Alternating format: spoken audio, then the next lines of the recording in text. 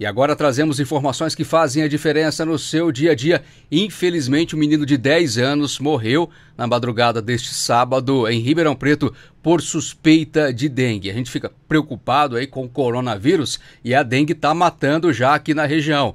É, de acordo com a Secretaria Municipal de Saúde, Denis Brian Souza Rodrigues estava internado na unidade de emergência do Hospital das Clínicas.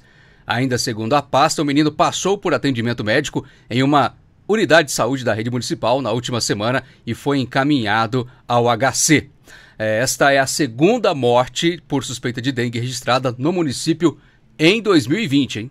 Em 15 de janeiro, uma menina de 8 anos morreu ao sofrer uma parada cardiorrespiratória em decorrência da dengue. Até a última sexta-feira, Ribeirão Preto já registrou 596 casos de dengue e que representa um aumento de 134,6% em relação ao ano passado.